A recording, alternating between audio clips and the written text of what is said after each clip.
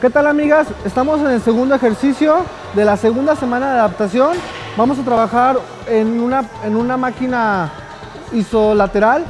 Muchas, muchos gimnasios tienen máquinas eh, de peso integral. Aquí tenemos la ventaja de tener esta máquina. Vamos a comenzar.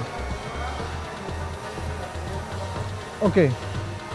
Vamos a cuidar mucho que los codos vayan en dirección hacia el suelo. Comenzamos con la ejecución del movimiento.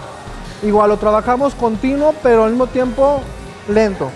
Igual, seguimos. Tu espalda tiene que estar recta para meter un poquito sobre solamente los dorsales. Tenemos un poquito más de amplitud en los dorsales, sube y baja. Aquí cuiden mucho chicas que no hagan trampa. Muchas veces en los gimnasios nos pueden hacer, hace un poquito trampa, te haces hacia atrás y luego hacia adelante.